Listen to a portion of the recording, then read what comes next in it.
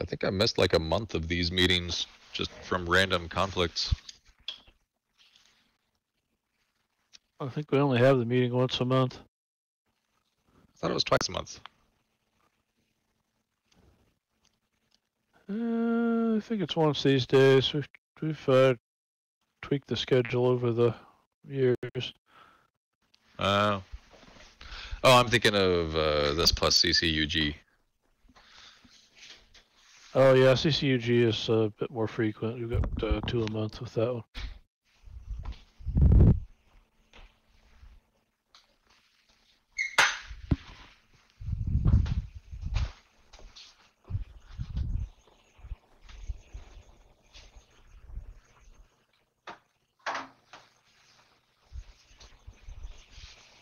All right, well, folks, welcome. We have things to talk about this week, so we might as well get to it. Um, fair amount going on in viewer development land, and some of them are uh, relevant to folks that are looking for what's coming next and what to merge with and all that good stuff. Uh, let's see, in terms of viewer updates, um, we've got uh, I think the main thing this past week has been the uh, project viewer shipped for WebRTC. Uh, we'll be talking a little more about about WebRTC voice in a minute. Um, and then uh, just uh, continuing work on a bunch of other viewers. The most likely next promotion at this point is Maint X, uh, which uh, is probably going to go out next week, and that also has implications that we'll be talking about in a minute. Um, but there's, uh, in addition to Maint X, there's a big push to get uh, featurettes out. There's a relatively small set of issues left for that. Um, maybe we start with that one. Uh, Dave, do you want to talk a bit about where we are with uh, featurettes and what the next steps look like? Sure. Uh, so as far as we can tell, all the things that we consider to be showstoppers are fixed and uh, release slash materials underscore featurette branch, and that is winding its way through what will hopefully be uh, final QA now.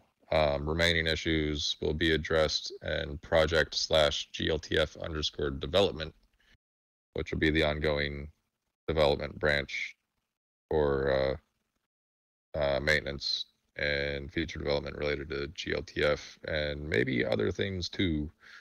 Um, well, we'll see how that goes. Uh, internally, the server team has switched to to uh, Git Flow, and there's conversations about trying that out on the viewer side too. Um, so while we experiment with that, the project slash GLTF underscore development branch would be the closest thing to a develop branch and Git Flow speak.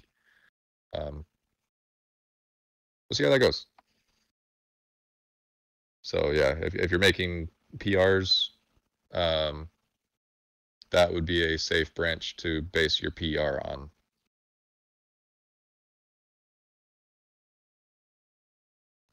And we'll try continuously releasing that.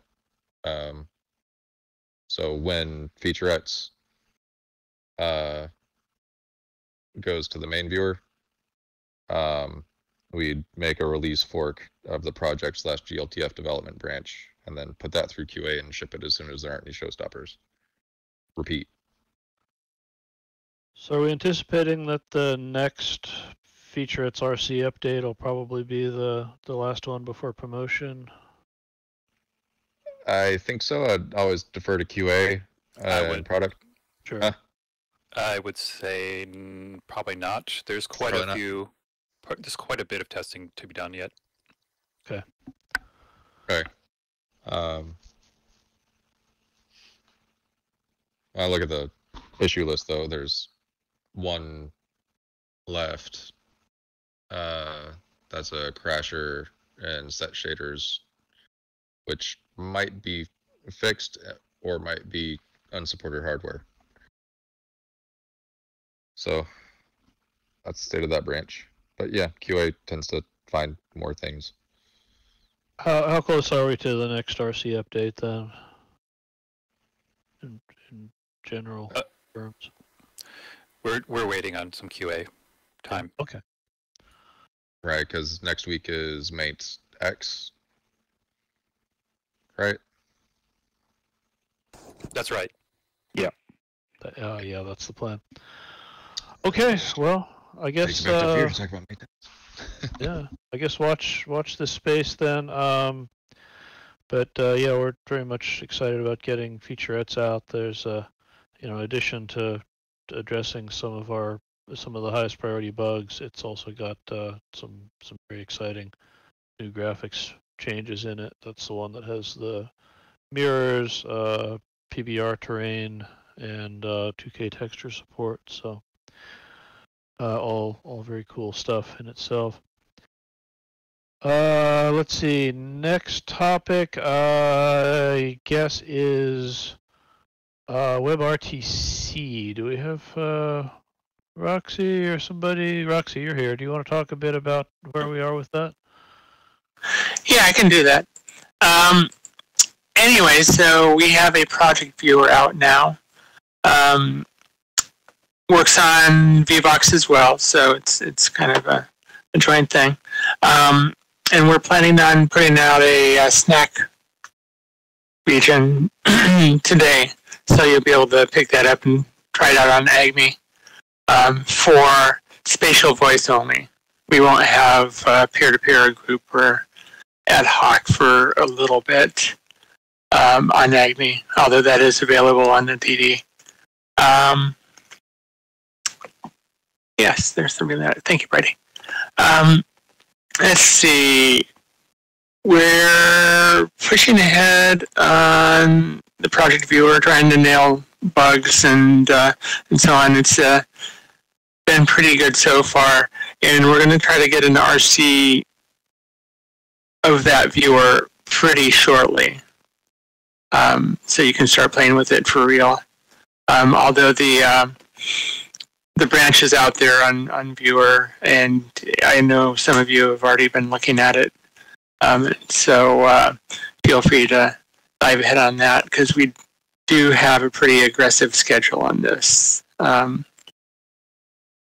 uh, let's see, we were talking about end of June actually deploying to an RC ch- channel.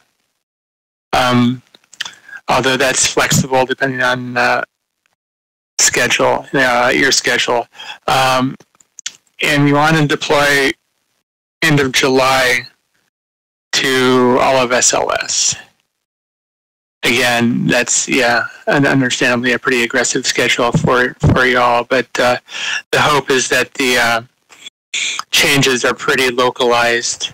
There's a new WebRTC voice module that plugs into the viewer, and a few tweaks here and here and about to uh, get the IM subsystem to talk to it.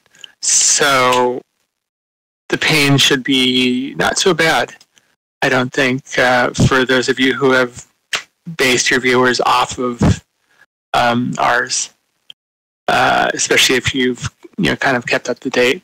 Um, and uh, yeah, I'd like to say I, you know, I am here to help. I would uh, love to uh, help out any way I can.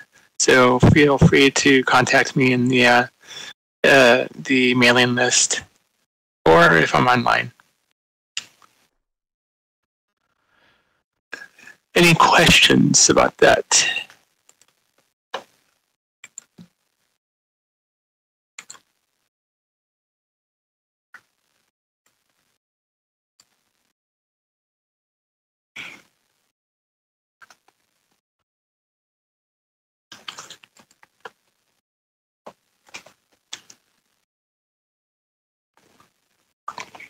Okay, that's good to know. It's you know hopefully as as Roxy says, it's not going to be too dramatic uh, a merge since the changes are fairly localized. But uh, uh, anyway, uh, can take a look if uh, you know if anybody wants to to uh, take a take a pass at the current code base for the project viewer. Uh, they're welcome to do that. Of course, uh, you know you'd probably want to wait for the for the RC before you you uh, would- were putting it out more widely, but uh, it's not. Uh, it- you know, Roxy. Is it fair to say that the you know, most of the code is is should be pretty stable, and we're mostly just bug fixing at this point.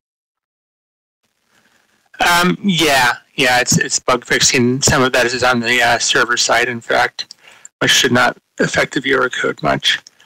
Um, and there will likely be another drop or two of the WebRTC library itself, um, the one we grabbed from uh, the WebRTC open source to fix a few bugs, and that should be just a drop-in replacement for what's there. So uh, yeah, we should we should be in pretty good shape. Uh, Rex, did you talk about what the expected behavior looks like when when the grid is mixed? When some regions have WebRTC support and some don't. Oh yes, yes. Okay, so the project viewer slash RC viewer will handle both types of regions. Um, so uh, we can handle mixed. Uh, we won't probably have mixed for very long. Um, there will be some bumps. Um, peer-to-peer, ad hoc, and group voice um, may be a little weird, um, but I'm working ahead trying to get things to negotiate down so that if you have an odd ad hoc or group conversation and somebody pops in who's using a Vivox region, everybody will negotiate down to Vivox. Um, or if you start up a conversation that's all people on WebRTC regions, um, it'll default to WebRTC. So in your testing, um, if you want to really test the WebRTC stuff uh, for group ad hoc and, and peer-to-peer, uh, it's important that everybody uh, involved in that conversation is in a WebRTC region. Because that's the thing we're really trying to nail. There might be some bumpiness, though, between different a mix of regions, and uh, hopefully that won't last long. So if you have a WebRTC viewer and uh, if you're a WebRTC viewer, then you can you can visit either a, a WebRTC region or or a Vivox region, but local chat won't work across the boundary between those two different region types. Is that is that the Yeah. situation people are going to see? Yeah, I don't think we have too many cases like that, do do we? Um, but yeah, if you're at the boundary between, say, one of the RC channels and the rest of main grid, you won't hear a voice across region boundaries. But if you're, you know, on on WebRTC region that abuts a uh, another WebRTC region, you will hear across region. And of course, the old Vivox stuff works uh, cross region as well. Yeah, and so that wouldn't. Yeah. I guess the the cross boundary thing wouldn't be a common occurrence now, but it No. would be more common while we're in sort of an intermediate state where it's part where Yeah. the server stuff is is partly rolled out. Yeah, and the hope is that's not too long and just enough time for us to, uh, you know, uh, make sure there's no issues and, and fix them if there are.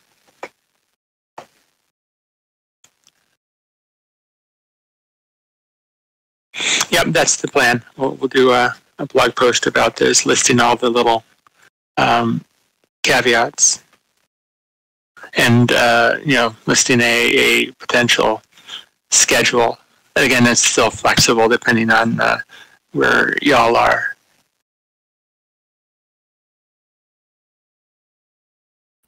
Uh, when do you think would be a good time to pull uh, WebRTC into the GLTF development branch? Um, I, I'd say let it sit on the as a project viewer for a little while, um, like a week or, or so. Okay. And then we can we can talk about pulling it in. Um, I'll go ahead and, and sync up to the development branch so there's you know so it so it's all synced up and it should be able to just fold right in. Yeah. Should be pretty easy. It's one of the things I worry about with uh, uh, the the way that we have things going on Discord with uh, installers is getting people testing stuff Mhm. um, and missing some other stuff that we want them to test. So getting it all Yeah. Making them not have to choose the installer to, to run probably be helpful. Yeah, yeah. I mean, given that uh, the WebRTC viewer will work on Vivox regions, uh, it should be pretty Right. pain free um, if we do fold that in. People to be able to go everywhere on main grid. So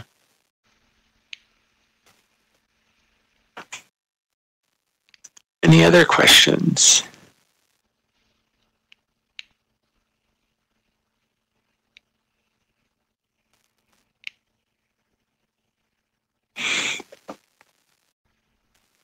Yeah, we're trying to do as much under the covers technically to reduce that pain. Um, I, I believe the WebRTC stuff has, you know, for instance, better NAT supports and, and such, so that actually will reduce the uh, support pain for people. Um, but uh, we'll have to explore that once we release it to more and more people.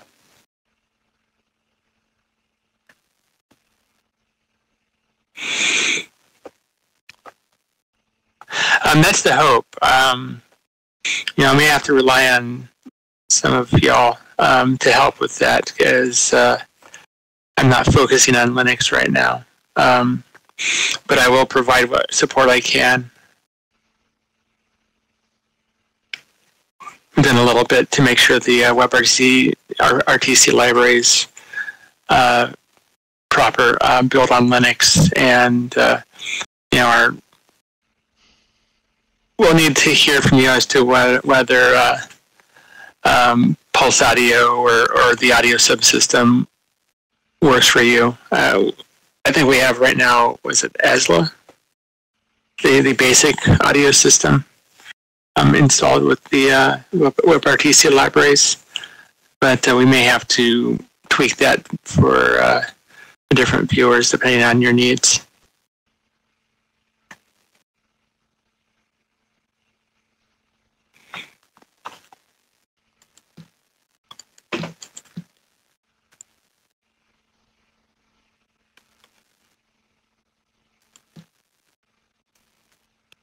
All right. Any other questions on WebRTC? We've got uh, one more topic, and then we can go to general uh, discussion. There were two. Uh, maybe there's two, and I'm forgetting one. I was going to talk about the uh, Maint X white space stuff. What's our other one? Uh, PBR support and SL21B. Okay, that's that's also a good one. Do you want to talk about that one first? Sure. Uh, so SL21B will not have the content for that will not have fallbacks for Blinn-Phong. Um, and at that point, the communication to people who ask, you know, why is this stuff at SL21B showing up all gray or white? Um, will be well, your viewer is out of spec, and you need to update. And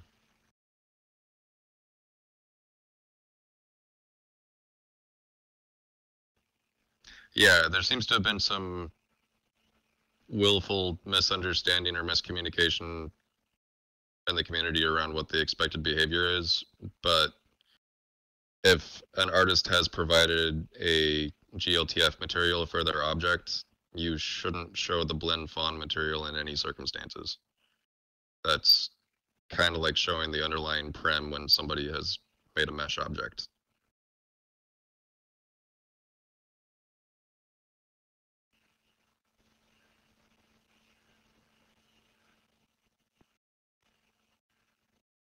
Yeah, we're not saying we're getting rid of blend fawn.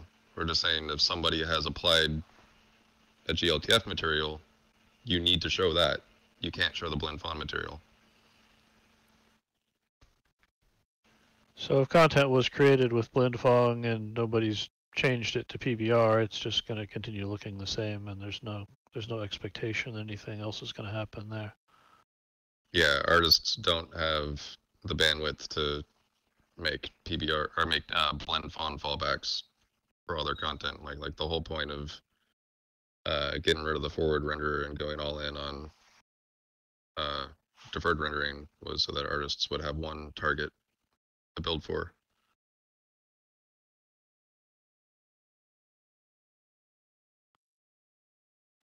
SL21B is late June, right? Yes.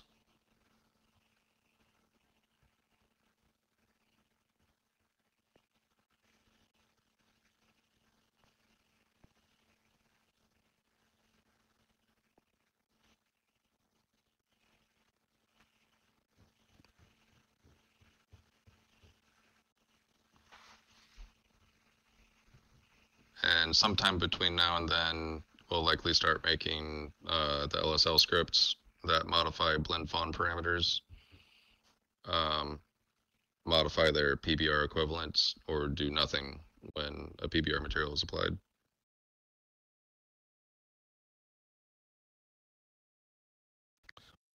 So like LL set color, for example, would set the base color, not the legacy diffuse color. And that should make life a lot simpler for uh, scripters going forward because scripters have been giving us feedback that trying to do something simple like that with existing scripts is impossible because they have to do a check to see if a GLTF material is applied and then if there is, use LL set primitive params. If there isn't, then use LL set color or just use LL set primitive params all the time. But a lot of scripts just want to use LL set color. So just make it do the intuitive thing.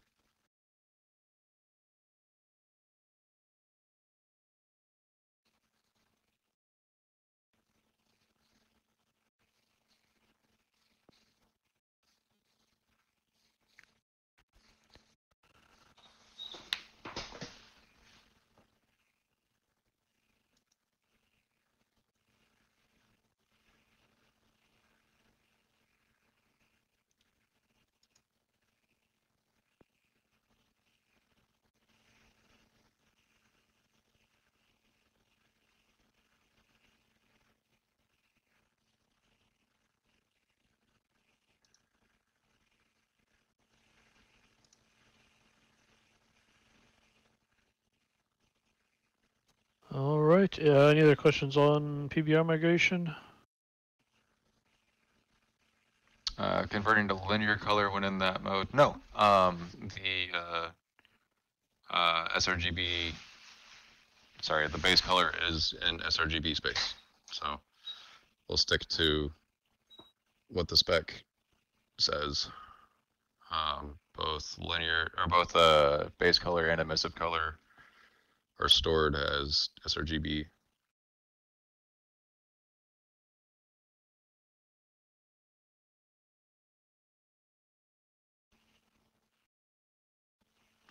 Oh. It does. Crap. Okay. Now we Is have to Add a discuss that. Is that magical documentation conversion. accurate? New issue? I don't think we're doing conversions on that number to when it comes Yeah. also. I think I know it's stored as sRGB. Um, I think it's just a documentation bug.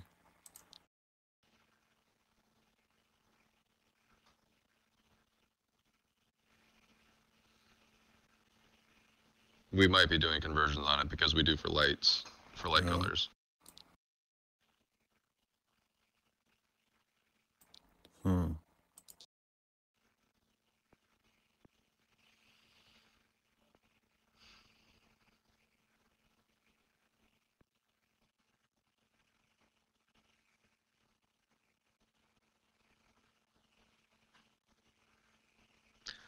Well, sounds like we'll be talking about this on Discord. Uh, All right. This is a thank you, Zanny. ongoing project. Okay. Uh, let's see. So one other topic. Uh, some of you may remember past meetings where we we talked about the issue of trying to fix our um, our white space problems in the viewer code base. We've had over the years it's turned into kind of an unholy mess of just mixed tabs and spaces and we uh, we wanted to kind of standardize it but we were concerned that change you know making a bulk change like that would generate a bunch of conflicts. Um, you know the the behavior back then was that if you tried to merge, you would just it would show as a conflict basically every line where the white space was changed, and so it would be uh, pretty much a non-starter for all the people managing multiple projects internally and for all the TPVs trying to merge with our code.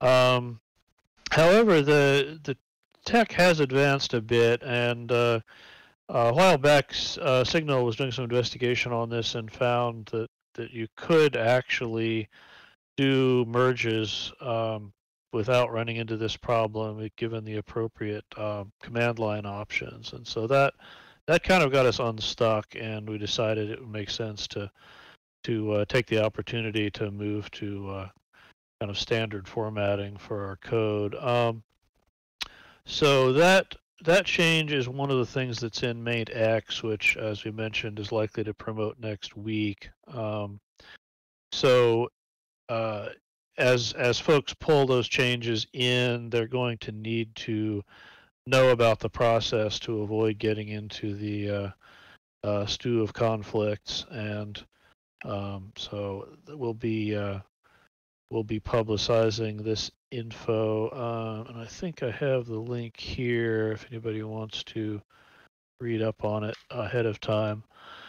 Um, but uh, yeah, basically, you you need uh, you need a, a, appropriate merge command line, and you need uh, you need a sort of a space standardization script to to fix up anything that uh, you know didn't get picked up in the merge. Um, so just want to let people know about it. I know there's been some concern, I think mostly from folks who are afraid that the merge was going to be a nightmare. And we have done some experiments uh, internally with trying to merge our, uh, you know, white space standardized into uh, uh, at least Firestorm, and I think we've looked at some other viewers as well, and it's it's gone okay. So, um, like I think the I think those directions are are pointing out some specific things we ran into in the process of running it on Firestorm, but uh, there could be you know similar things with other viewers.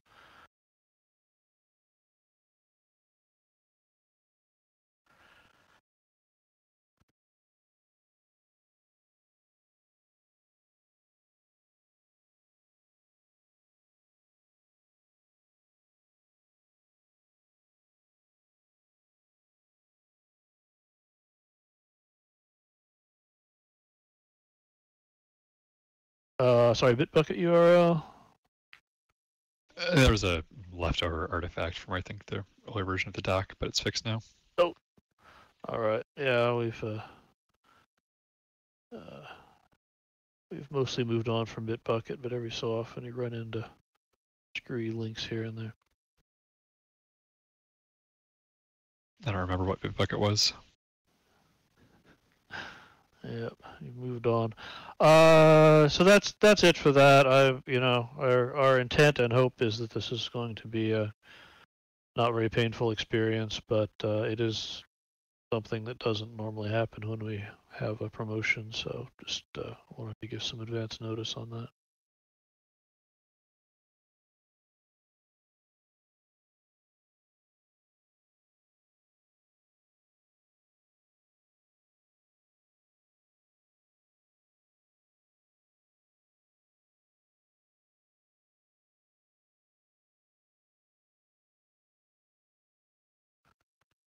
All right. Uh, any questions about that, or I want to move on to general Q and A? Where's the earth shattering kaboom? Yo, right? I came for the earth shattering kaboom.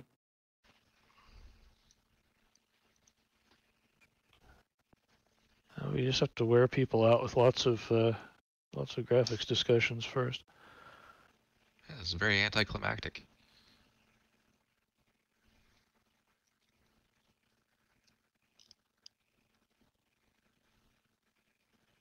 I mean, if there's no drama, what's the point of this whole like third-party viewer program?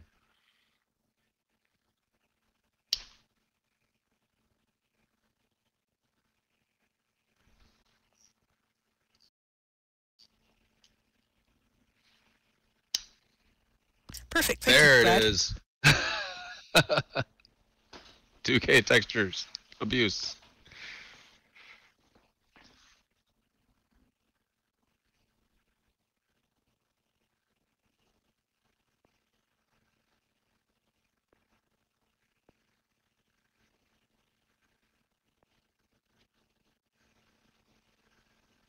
Yeah, I'm still of the opinion that with functional texture streaming, 2K on everything isn't nearly as big of a problem as people are making it out to be. Um, so show me the build that falls over because it's got 2K on everything. It's definitely a waste of time putting 2K on everything. I mean, nobody's that interested in your fingernails. It just isn't a thing. I mean, if you want to pay the 50 lindens per upload, by all means, knock yourself out. Um,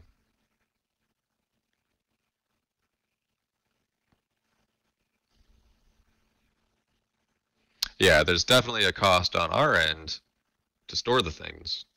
Um, but with functional texture streaming, it doesn't actually download the 2K version until you zoom up in on it. Um, so for the vast majority of the content, and I mean, and I mean, it's like it's an exponential fall off with distance. Like you got to be really zoomed in to get the 2K.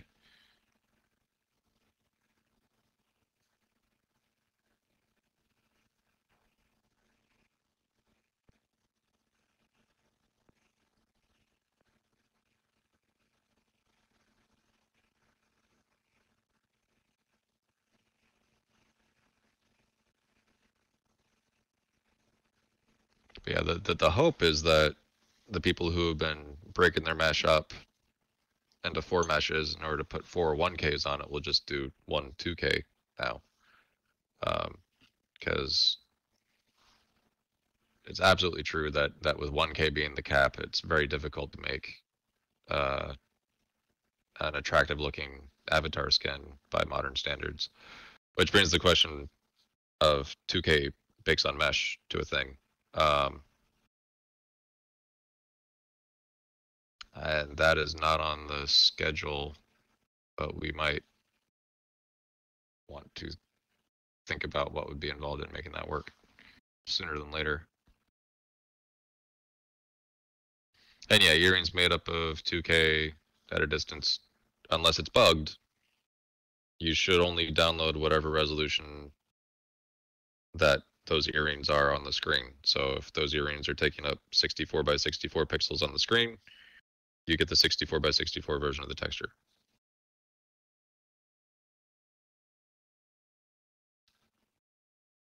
Uh, loss, lossless 2K is supported on normal maps when you use the GLTF upload.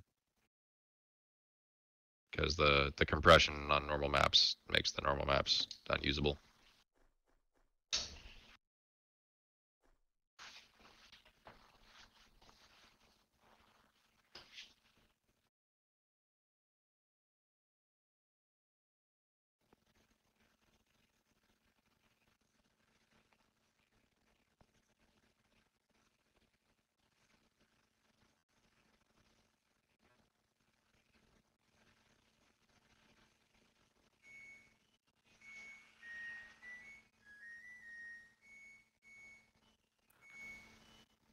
Bake service, it's probably not a huge change to get the bake service to support it, but um, bake service is also compositing textures that it gets from wearables, so we would have to uh, we would have to actually change the settings for what texture resolutions we allow in the wearables as well before you would see any effect from from upping the limit in the bake service.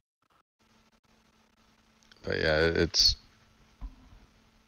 definitely be a squeaky wheel on that if that's important to you. Um, I think there was a canny issue asking for that, but I don't have my finger on it at the moment.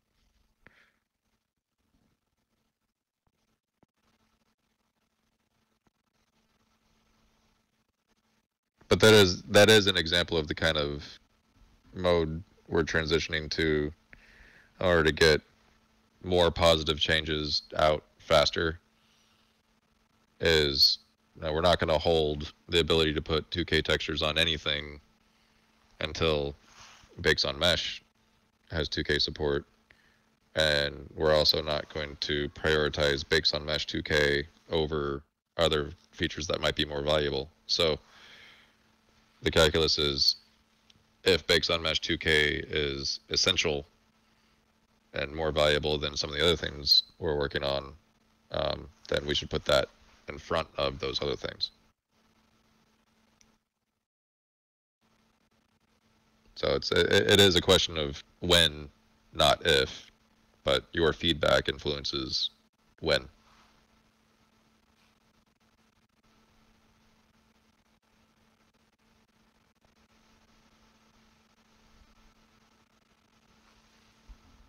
Hope that makes sense.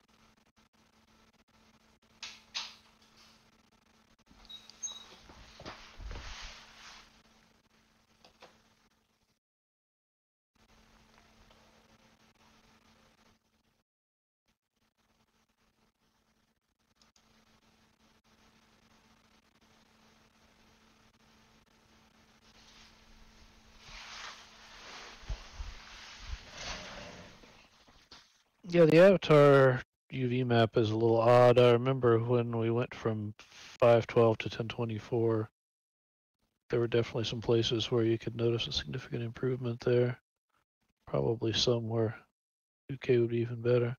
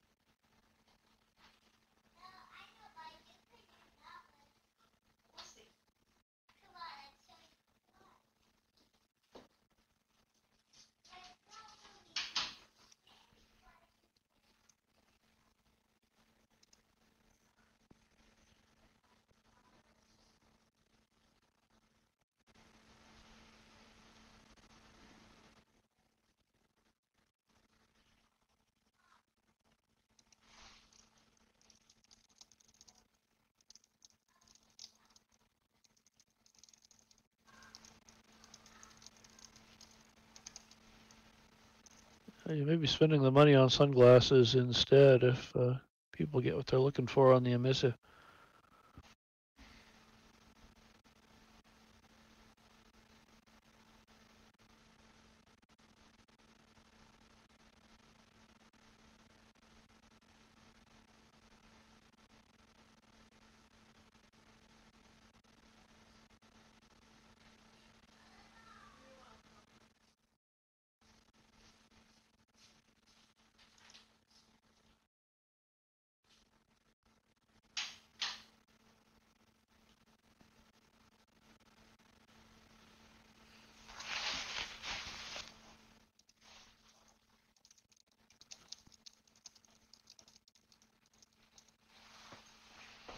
Yeah, I don't know. I think that's what we got for this week. Uh, Signal or Kyle, anything else we should cover? I can think of.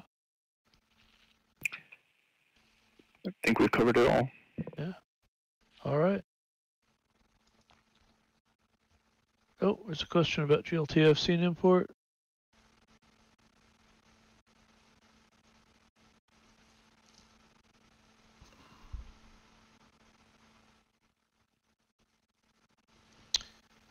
Um, oh, I'm happy to talk about that. Um, yeah, what what you've seen in Discord, or sorry, on uh, on GitHub, uh, is prototyping out scene import, but the idea is that an object will uh, act as the root for uh, a GLTF scene. Um, and we'll hang nodes off of that object. So kind of like how when you import a Collada mesh, um, that mesh replaces the prim. Um, same in the same way GLTF uh, scene would replace your your prim, and so one prim would have many nodes hanging off of it, and each of those nodes could reference a mesh. Um, and as far as linking more prims together, that's that's still an open question of what the uh, actual data model will look like. Um, there are some options, like we could figure out a way to make a node have a reference to an external object. Um, so it wouldn't even have to be part of the same link set.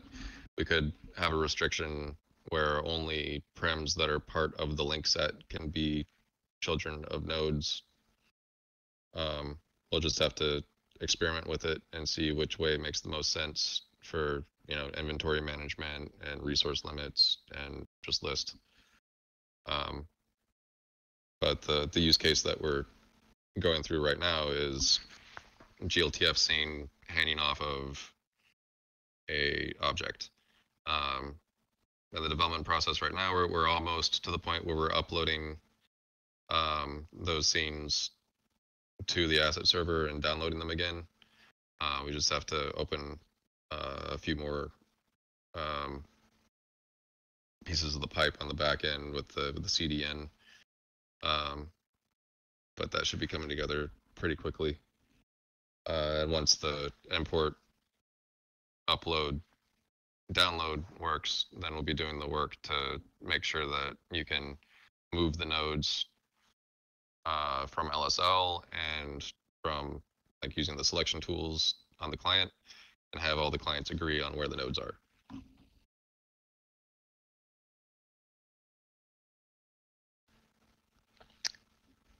Yes. Uh, so the nodes will be modifiable from the build tools and from LSL. Uh, and we're also working on animation support. Um, and export. Export's the other side of it that's going to be interesting to work out the particulars on. Um, I've got a demo video. I could probably trick Discord into sharing if I send it to Rye. Hi, Rye. Uh. just sent you a video just to get it on Discord's. Magic Link CDN. Yeah. Uh, she copy link. Is this gonna work? That might work. I think if you click that, it'll ask you to download an Oh. MP4. But that that shows how it works. Um, so you make a prim, you go to develop GLTF open, um, pick a GLB or a GLTF file, and it does a local preview. Um, just picks the first animation on the list, starts playing that animation. Um, then from there you can you know make the prim that is attached to invisible. Soon we'll make that happen implicitly, where the prim it's attached to just stops existing, kind of like happens with sculpts and meshes. Um, and then you can export back out. Uh, and a later version hasn't gone into the development branch yet. Uh, doesn't decompose button, which breaks it up into the components that you'd end up seeing on the asset store. And then there's an upload button that attempts to upload to the asset store and currently fails because the simulator doesn't accept SLBin or sorry, GL bin or GLTF files yet.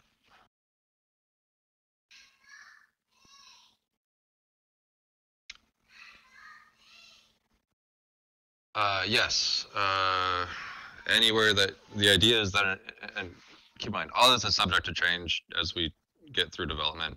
So it's all theory until we actually get it and world and see how it runs and see what the actual implications are. But the idea is that anywhere where you could have a prim, you could have a GLTF scene.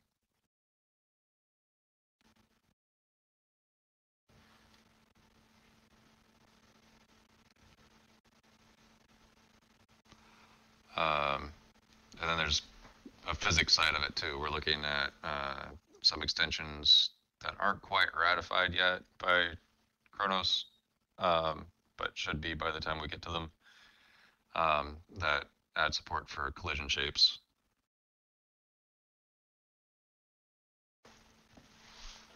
So you'd be able to, and those already have working implementations with with Blender. So you'd be able to set up your physics shapes in Blender and then import that.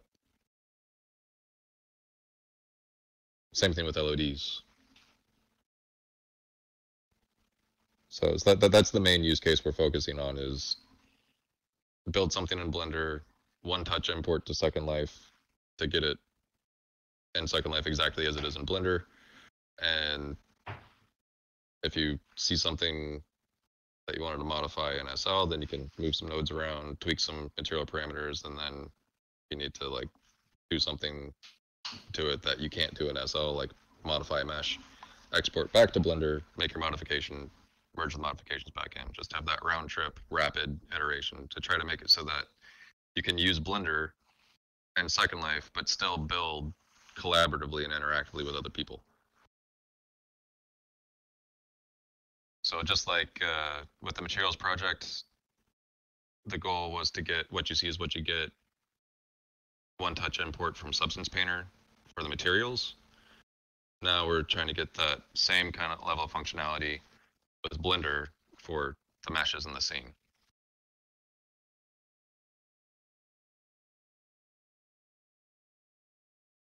Does that make sense?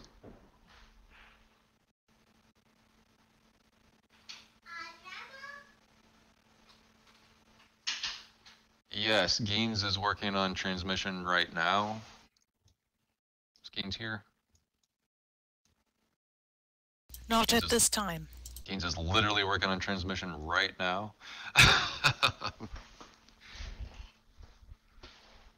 And I think IOR and volume as well.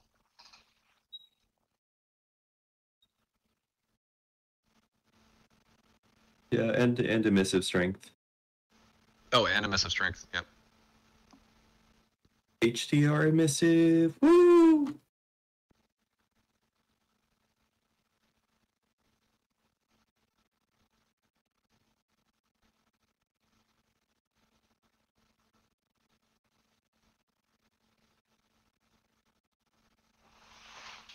Yeah, we clear coat is not on the list right now. Um, that's its own special thing.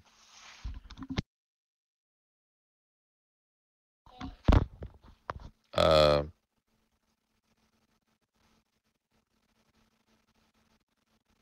yeah, I think uh, clear coat will wait until after. See, there's there's transmission. There's another thing that Geenz was going to work on, and then after that, Geenz was going to work on um, point light shadows.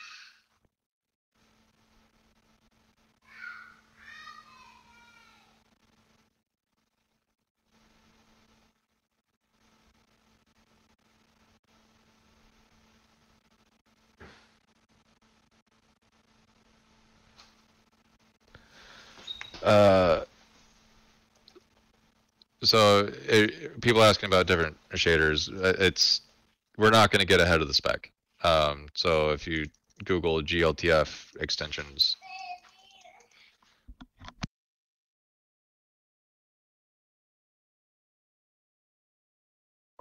uh, if yeah, if you look at uh, sorry, just got distracted by somebody. Um, here it is.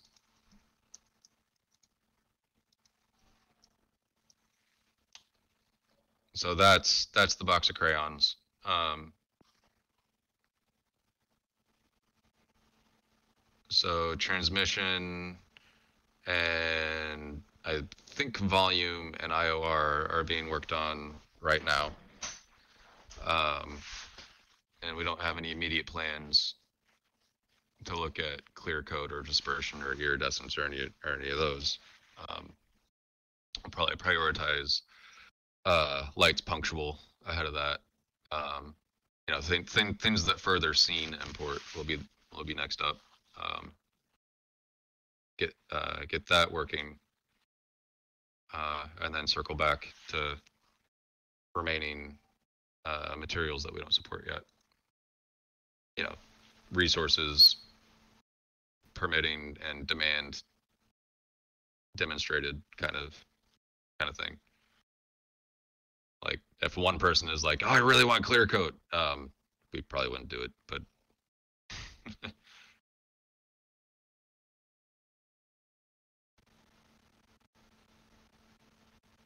yeah, we, we want to get to where we can put the GLTF stamp on uh, the viewer, uh, and Khronos has some very strict guidelines about when you can do that. So we'll prioritize stuff that gets us there first. Um, Christy bringing up supporting it, the occlusion strength is a good one because that is in the base spec, one of the optionals. Yes. Um, I thought like occlusion it'd strength. So in the spec, we're, we're, we're, the spec uses the RFC language of must, should, may. Uh, Yeah, it's under one of the maze. Yeah, so we're targeting the must and shoulds first. Like those, those take priority.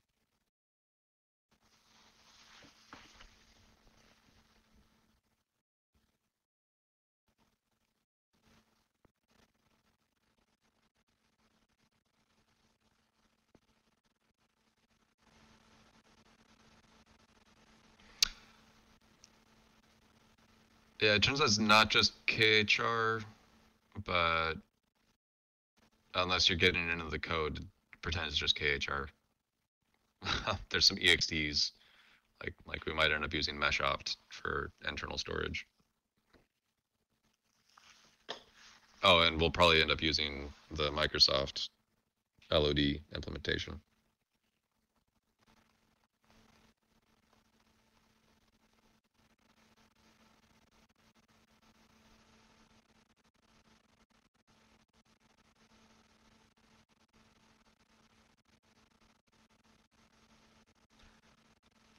Uh, there already has been a feature request on shadow controls for lights. Um,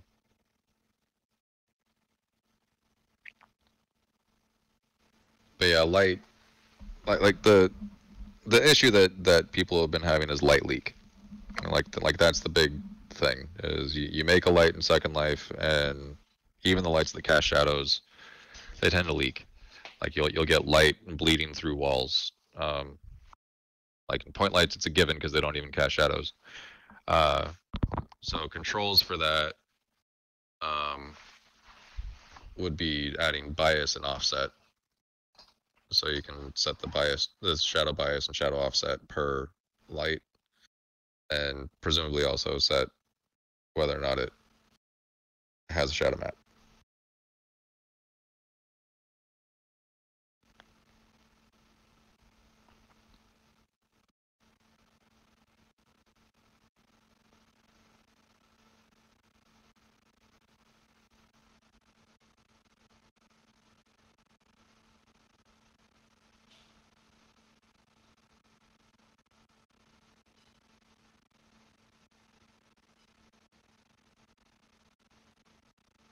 Right. Yeah, we definitely don't want to lose the ability to have like hundreds of small lights on the scene just for contact lighting. And making it a requirement that every shadow cat or every light cast shadows would be death for small contact lights.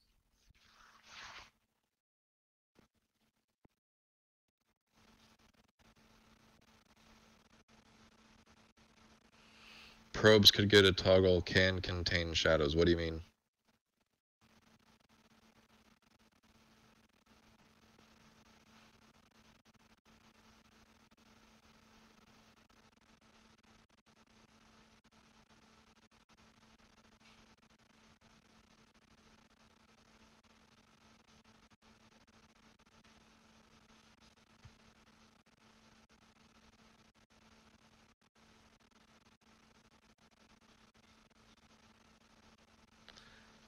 That's an interesting thought.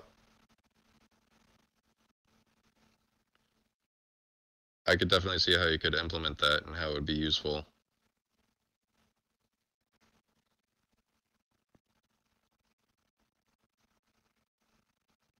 That sounds like a good feature request. you might write that up.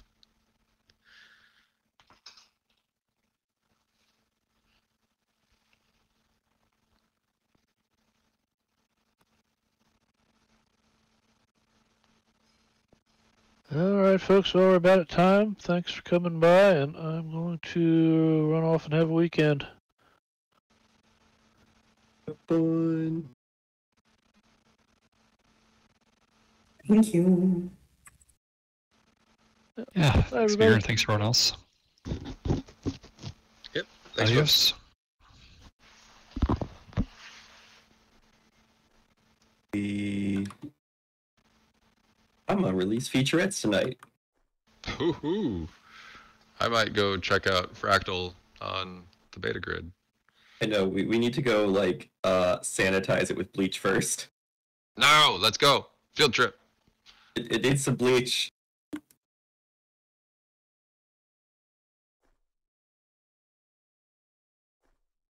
Yes, we have to go apply a little bit of bleach and remove the adult things. Okay, okay. Let me know. It, it should take us like half an hour probably. Grief, one of these days I'll get an updated avatar. This thing doesn't even have mesh. Oh look, I have cute PBR armor. Awesome looking. What? Where? The, the, the Oh, yeah, thing. it.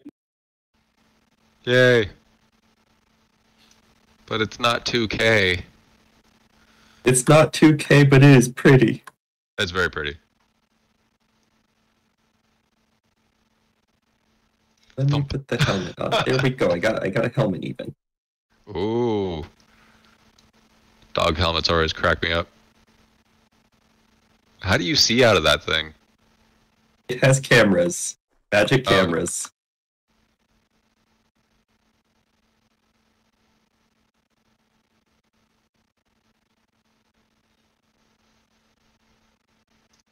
All right, well, I'm gonna run off to uh, end a week happy hour thing.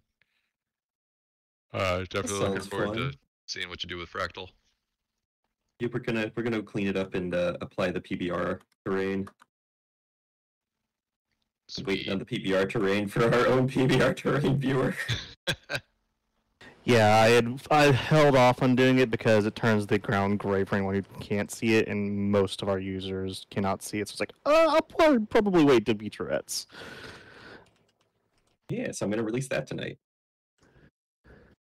Awesome. Subsume all the testers.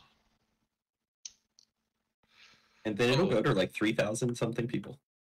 Um, also, thanks for the uh, uh, third-party library contribs. That's been super helpful. Like, I definitely want to get it set up so that if a third-party viewer is using, like, like wants to introduce a dependency that they have on a third-party library, um, that we'd be totally fine building and hosting the package. Just I've so just been getting tired of the uh, weird differences between our code bases because I replaced libraries that annoy me.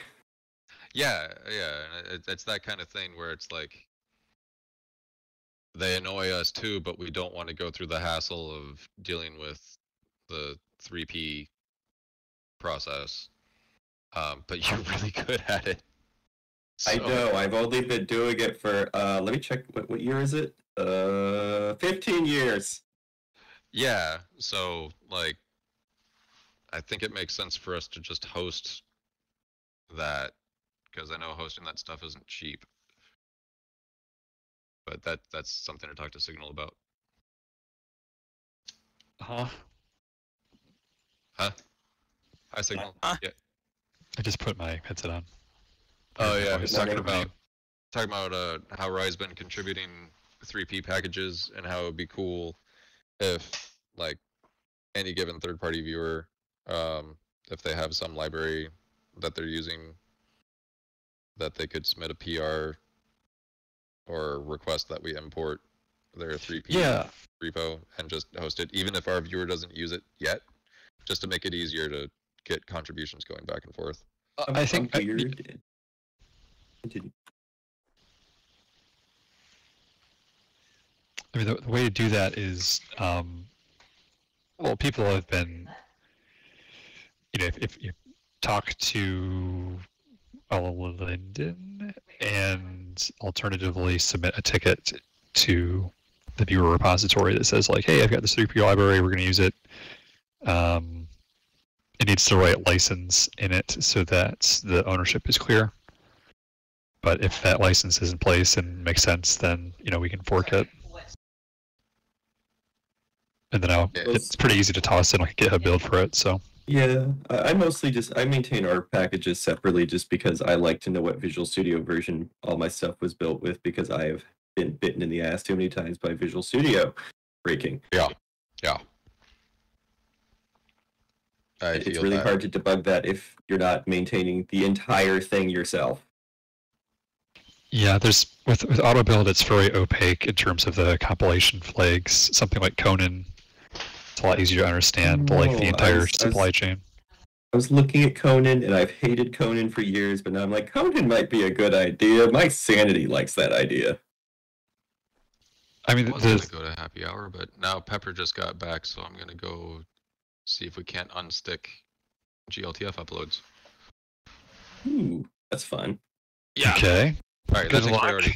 Y'all have fun talking about third-party libraries. I'm sure I'm, be I'm, I'm gonna go gently massage Beta Fractal. okay. See you on Discord. See ya.